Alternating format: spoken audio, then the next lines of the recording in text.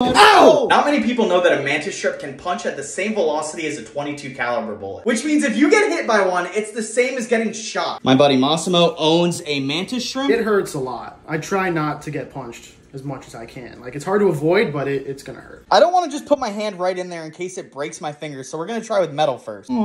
Oh, you think that would break my finger? Yeah. Ah, he sees me! Is it so?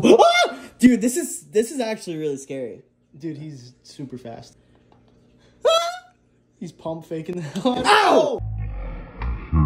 Ow! He got you good. Luckily, it did not break skin. This currently hurts. It's like a hot metal. Yeah. It's not necessarily like the most excruciating pain and it kind of subsides, but like it's scarier than it hurts, really. Completely unrelated to getting punched by that thing. Found a bunch of really cool mantis shrimp recipes that I kind of want to try out. Enough likes and I will cook my friend's pets.